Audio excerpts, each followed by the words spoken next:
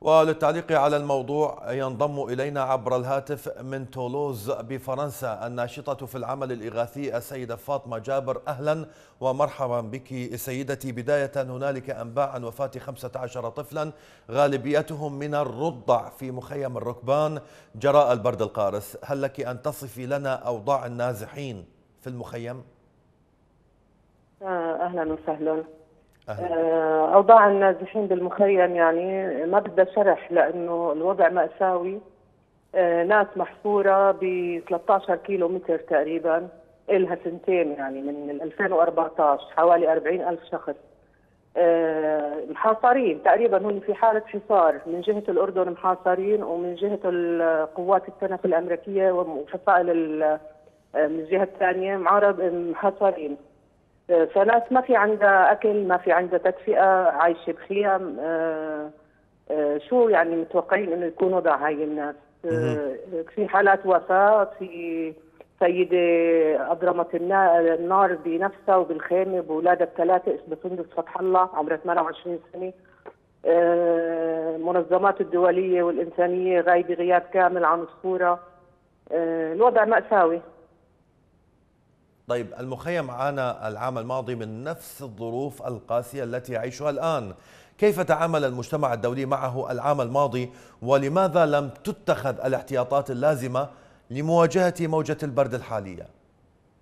للأسف للأسف. المنظمات الدولية والإنسانية غايبة غياب كامل عن مأساة شعبنا. يعني الأمم المتحدة أعلنت عن قلقها مجرد إعلان عن قلق. آه إنه بدهم يحاولوا يلاقوا ايجاد حل آه دائم وآمن وموثوق وطوعي. يعني هاي طوعي أنا ما فهمتها شو هي يعني طوعي. وفي المتحدثة باسم الأمم المتحدة السيدة فدوى عبد رب وبارود آه الموجودة بدمشق أعلنت عن قلقها. يعني خلص هذا هو الرد الإعلان عن القلق.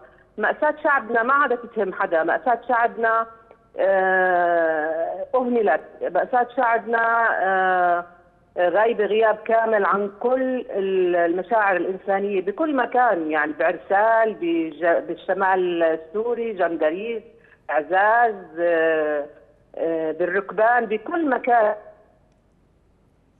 كيف تقيمين علم. كيف تقيمين جهود العمل الإغاثي من المنظمات الدولية الموجهة للمخيم يعني هل هناك آه، رغبة في مساعدتهم؟ آه، أنا بتوقع الإهمال متعمد لأنه السيدة بارود فدوى عبد ربه بارود نصحتها نصحت بإرسال قافلة قافلة مساعدات غيثية. القائد القافلة الأولى كانت بنوفمبر الماضي. فقافلة كل بين فترة وفترة لمخيم لناس محاصرين. آه، شو بتعمل هاي يعني؟ شو بتسوي هاي القافلة؟ يعني أنا بتوقع إنه آه، جمعيات حقوق الحيوان بأوروبا عم تشتغل أكثر من جمعيات حقوق الإنسان بالعالم نعم. هناك من يرى أن آه، آه، هناك رغبة سياسية لإعادة هؤلاء النازحين إلا أن نظام بشار الأسد يؤثر على هذه الجهود، هل لمستم أي حقيقة على لهذه الرؤية على أرض الواقع؟ أنا ما بتوقع لأنه ما في أمان لأنه من فترة صرح وزير اللاجئين بلبنان آه، ونشر فيديو عبر وسائل التواصل الاجتماعي الفيسبوك وتويتر ووسائل التواصل الاجتماعي إنه تم إلقاء القبض على عدد كبير من اللاجئين اللي رجعوا على سوريا من لبنان وتم في منهم تم إعدامهم إعدام ميداني يعني. نعم. فالناس حتى لو صار هذا الحل بحالة رعب وخوف شديد يعني على حياتها بالأخير. نعم آه، عبر الهاتف من تولوز الفرنسية الناشطة في العمل الإغاثي السيدة فاطمة جابر كنت معنا شكرا جزيلا لك.